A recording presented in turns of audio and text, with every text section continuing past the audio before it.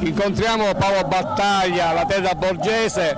presidente del premio Pentafoglio, critico d'arte che ci parlerà proprio del premio Pentafoglio.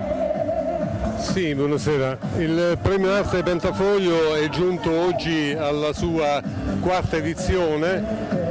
e quest'anno è stato un, un calendario molto ricco, molto fitto, Domani premieremo la memoria del vice brigatiere Salvo D'Acquisto in occasione del quinto memorial podistico a lui dedicato e che si svolgerà nel cuore di Palermo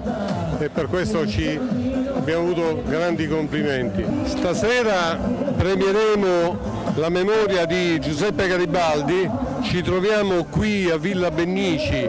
che è adiacente il Ponte Miraglio dove tutti sappiamo è passato eh, eh, l'eroe italiano, l'eroe dei due mondi e consegneremo, visto che ci troviamo qui perché abbiamo raccolto la richiesta di collaborazione per la rivalutazione di questa zona e di questo parco in particolare,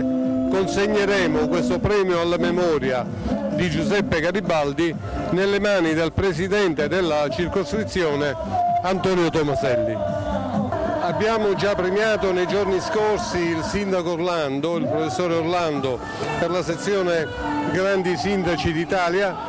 e abbiamo premiato il direttore di RAI Sicilia, il direttore generale di RAI Sicilia, Salvatore Cusimano. Sempre a ottobre, il, il prossimo mese, premieremo il Presidente della Repubblica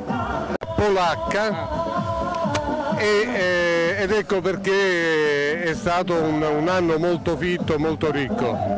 Eh, il premio arte Pentafoglio sta rispecchiando la sua natura, cioè motivo, le motivazioni per cui è nato, e cioè di riconoscere, di insignire eh, tutte quelle persone,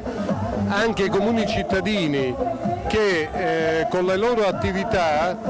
hanno testimoniato con il loro lavoro, con il loro operato, l'elevazione dell'umanità eh,